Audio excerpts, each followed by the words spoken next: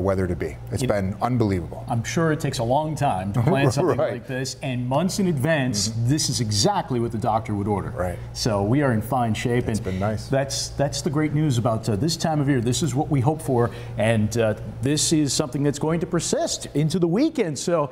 Get ready, get set. I think I like to call this uh, putting the weather in cruise control. That's a live look at the waterfront as we look at the uh, top temp today. Made it up to 77 degrees today in Buffalo. A cool morning low of 57. Sun will set at 8:21 p.m. Let's talk about your weather headline. Shapes up this way, uh, much like. Uh, Last night, tonight brings more moonlight and, of course, the most reliable meteor shower of the year, the Perseid meteor shower, producing some beautiful shooting stars, getting to the open countryside away from uh, the bright lights of the city, and you should be able to catch a falling star or two. The weekend brings ample amounts of sunshine. Early next week, maybe some widely scattered showers, but really nothing that will put a huge dent in the rainfall deficit, which we'll talk more about at 5:30. Here's your evening planner. Maybe you want to get the grill out, good to go, or maybe head to the fair. Temperatures into the 70s, dropping slowly into the 60s. There is that fair forecast for Saturday.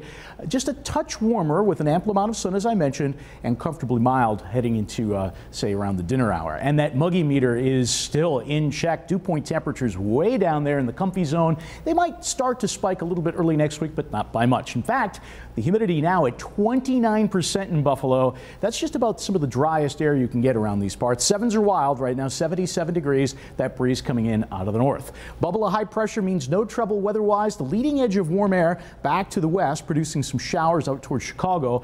Uh, those should stay to our west, but you're going to notice a little bit more cloud cover as that front makes its way a little bit closer tomorrow. Right now, though, you're hard pressed to find a cloud across all of western New York from hilltop to lakeshore. Just a few lonesome cumulus clouds, which have just added to the beauty of our sky.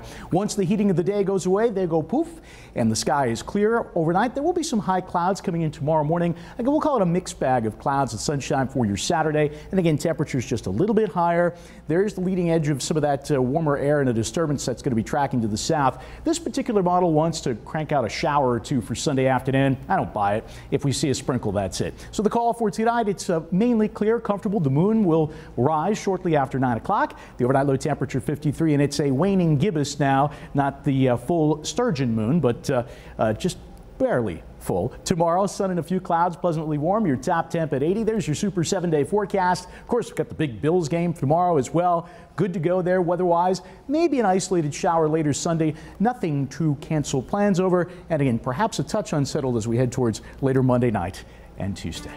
And we'll be right back. Stay with us.